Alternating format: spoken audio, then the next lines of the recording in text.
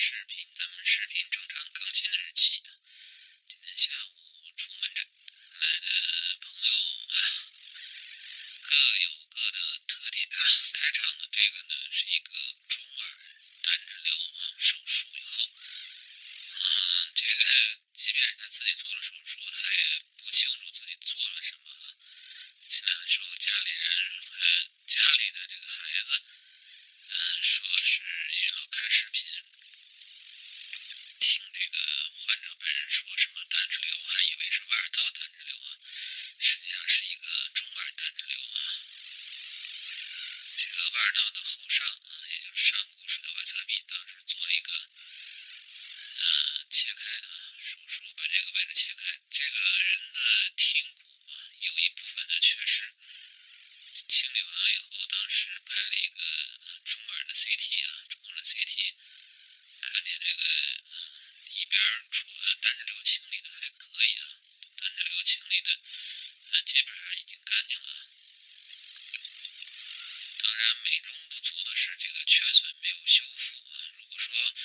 手术把这个呃缺损当时修复好，然后把听骨再重新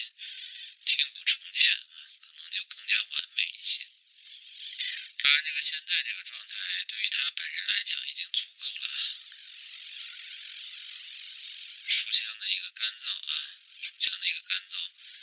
呃，另外一侧耳朵听力基本上是正常，日常生活影响也不大，就不再去刻意的再为了追求完美而去再做第二次手术了啊。这个区域是手术切除的啊，这个不是不是跟外耳道单支瘤完全是两回事儿。嗯，这个啊，这是咱们的第一个啊，第一个。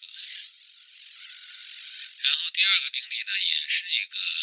单支瘤手术以后来复查的，当然它内侧没什么，腹腔还是比较清洁，但是在另外一侧耳朵啊，另外一侧耳朵有一些丁宁块。嗯，这个东西本身不大啊，之所以给大家拿出来放呢，是因为在清理的过程当中，啊，有一些啊其他呃比较少见的一个发现啊。您清理到这儿还没有太注意啊，以为就是一个简单的这个丁宁栓塞。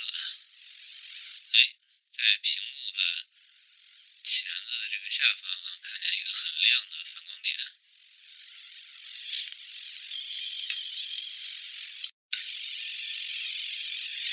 这个反光点当时在操作的时候啊，就觉得特别眼熟啊。后来因为之前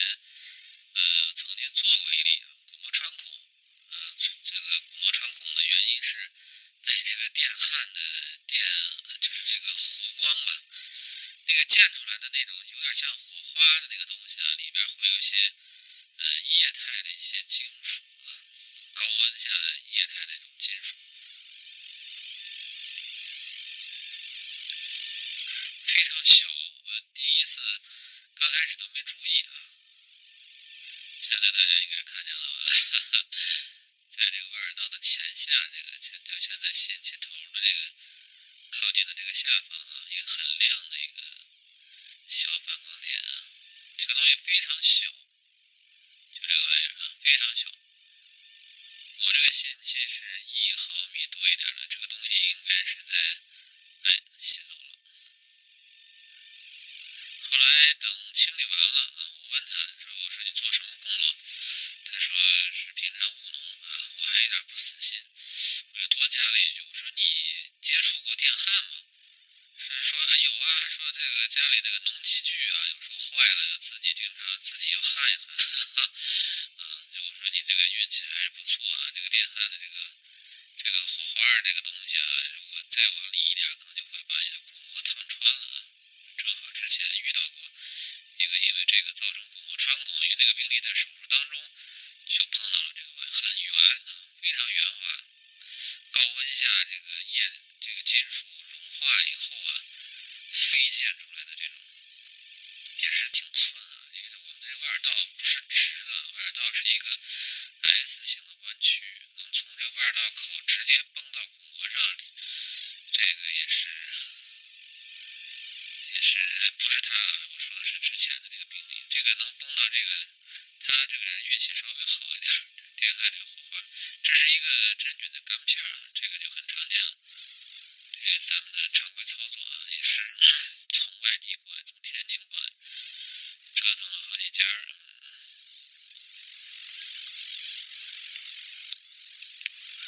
之前有个朋友，我记得问过，好像还是同行问，这个没有明显菌丝的，为什么考虑是真菌啊？因为这种病例见得多，有一些确实是有明显的菌丝啊，这个已经是可以看到，黄色的这个干痂的里边内侧啊，有这个白色的真菌的菌丝，有一些未必有啊。这诊断真菌，还有一些真菌就是些粘块啊，看上去跟脓似的。所以这个真菌的形态啊是多种多样。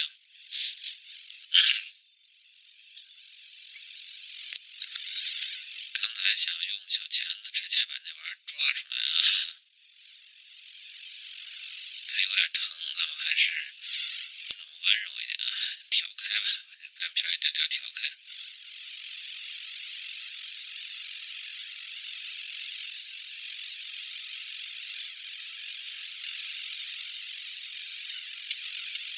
挑出来啊，挑出来。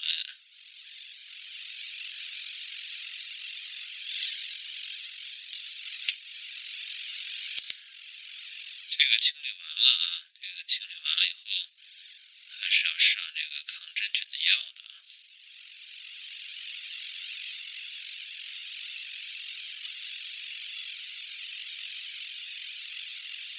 这个感觉有点像手指在里边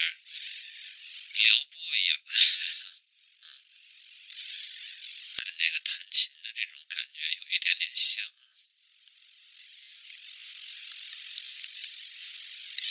要把这个钩针的操作啊，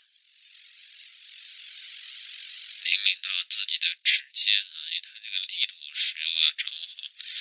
金属的钩针把这个皮肤勾破，那个是太容易了啊。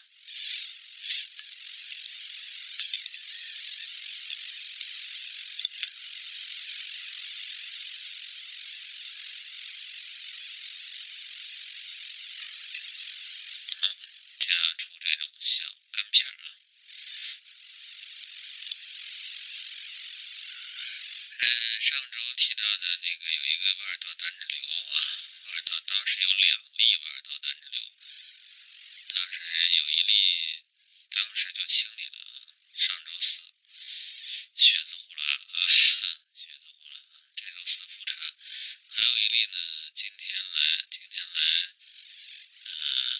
收住院了，准备全麻弄，因为他那个弯道比较窄，那个人对这个疼痛实在是忍受不了啊，只只能麻醉处理。明天明天准备全麻处理啊。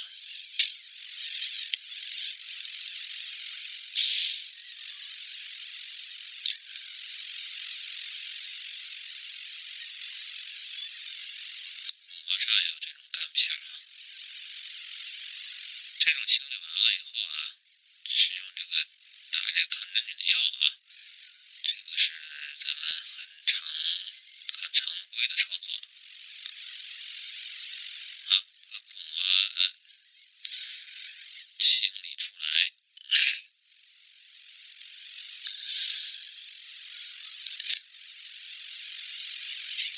这个有点疼啊，这个因为紧贴在这个骨膜表面的这种操作啊，这个还是成年人。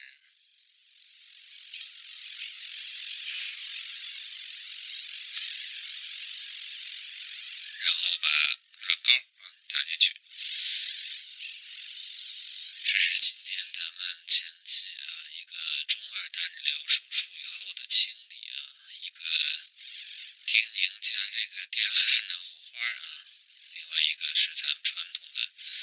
干片啊，中二的干片啊，花儿比较好啊。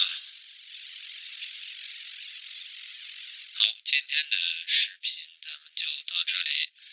呃，那个单支瘤手术，看当时的情况，把外耳道单